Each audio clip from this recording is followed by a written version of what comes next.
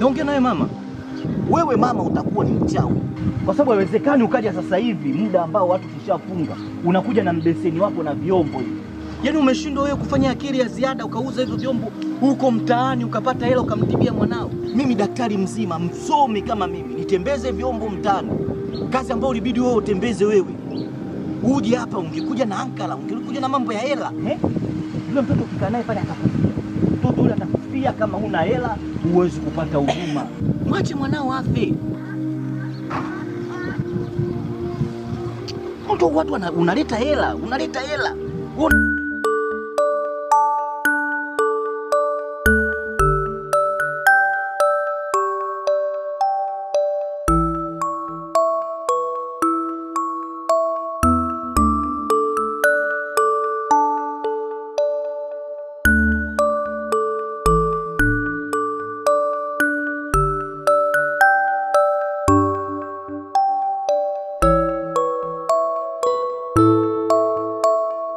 Wewe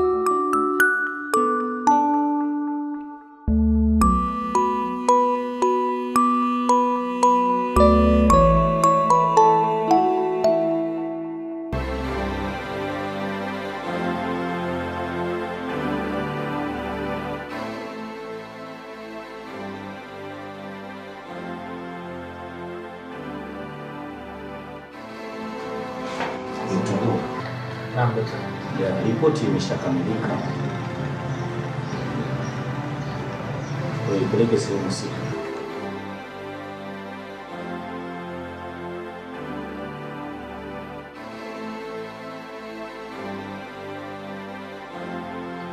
Sielewi.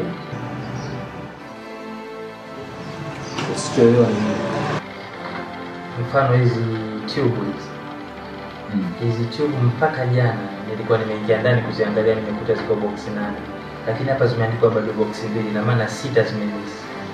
Sasa nashindwa kuelewa tatizo hili. Sikiza utabu. Ripoti mimi ndio nilikuwa naandika. Si ndio?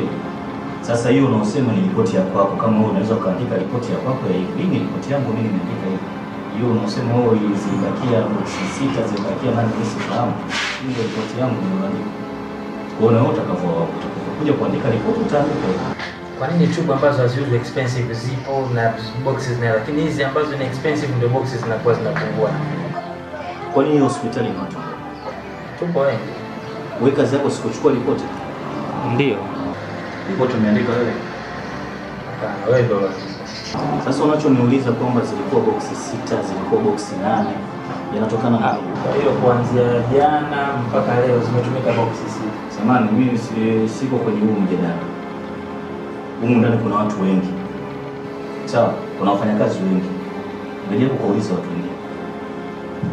Sikuelewi. Sikiliza Dr. Mungu, inaonekana sasa nataka kuipanda kichwani, si ndio? Chukua ripoti, peleka, ndio kazi yako.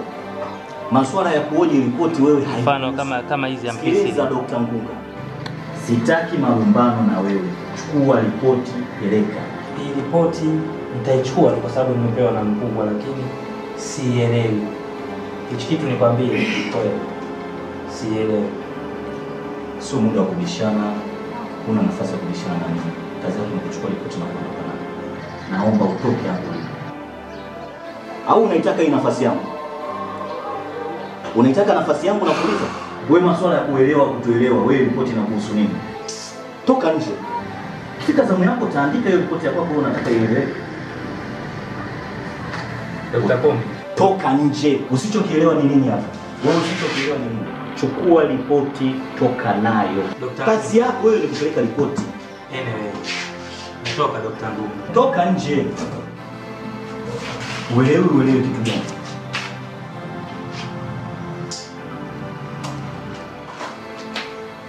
Utanikumbuka. Takachokumbuka kwako ni hizo ndevu unazoshindwa kunyoa.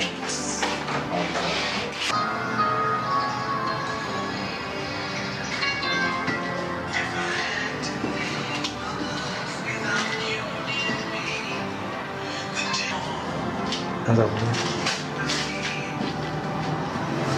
Eh, chana. Ah, poa poa. Sasa sikiliza. Mpango uko vizuri, mpango uko vizuri kabisa, umenyoka. Zile boksi sita za tube nishaziiba, ninazo. Eh. Ah, hapo ndo tunaanza kugombana sasa. Nataka hela ya boksi sita, sio boksi tatu. Sitaki hata mia. Kama uwezi nimpigie mtu mwingine, mpigie nyeme. We kila siku tukifanya biashara lazima kidogo ufanye hivyo. Zile, zile tubu hazipatikani kirahisi. Zile tubu zinakuja hapa, mimi ndo naidhinisha. Yaani kesh kesh. Eh. Ah, sio. Hata kama wewe utashindwa kuzichukua zile, nitampigia nyemo aje kuchukua. Ah, utazikuta wapi? Pale dukani kwa mangi Nimemwambia Mange kabisa, unampa hela ndo anakupa zile boksi sita. Ah, sio mkwala, sio mkwala. Ukishindwa wewe, mimi ningemtafuta mtu mwingine. Unajua zile boksi zinapatikana kwa shida. Okay.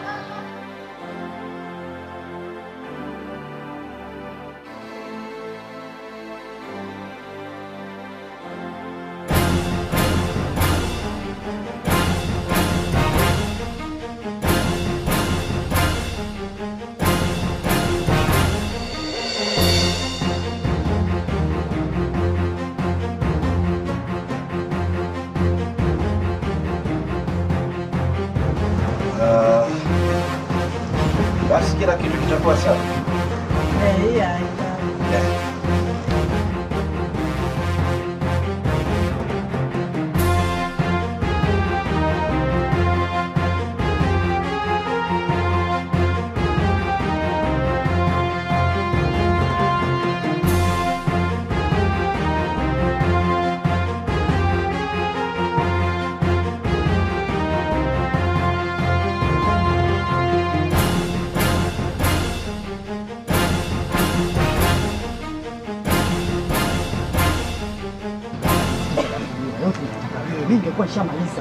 Sasa wewe pale ningefanyaje? Wewe si umemwona Si ungenitonya pale kama kuna mtu chooni. Ana mimi ningefanyaje sasa? Sasa wewe si mimi ningemaliza kila kitu. Sasa unataka msaada gani kwangu? Sasa mimi pale wewe ningefanyaje? Wewe si pale mimi hela ile.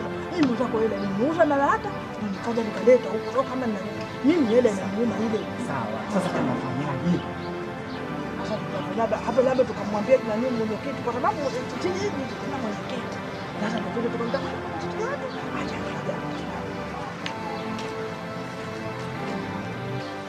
Msipigizane kelele.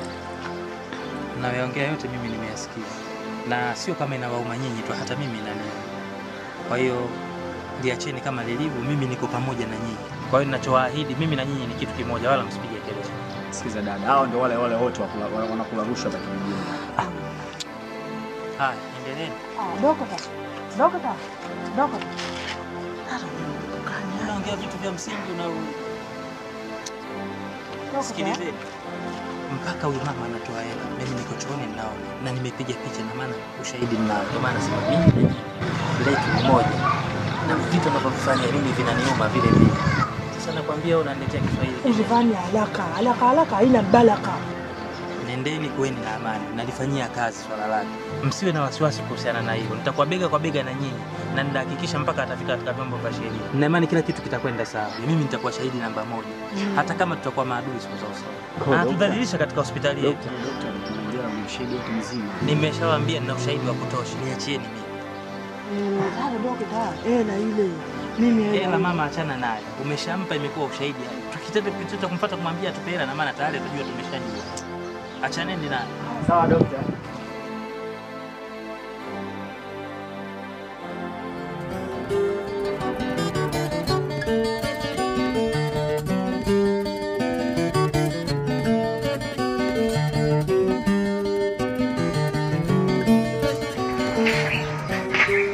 Subira.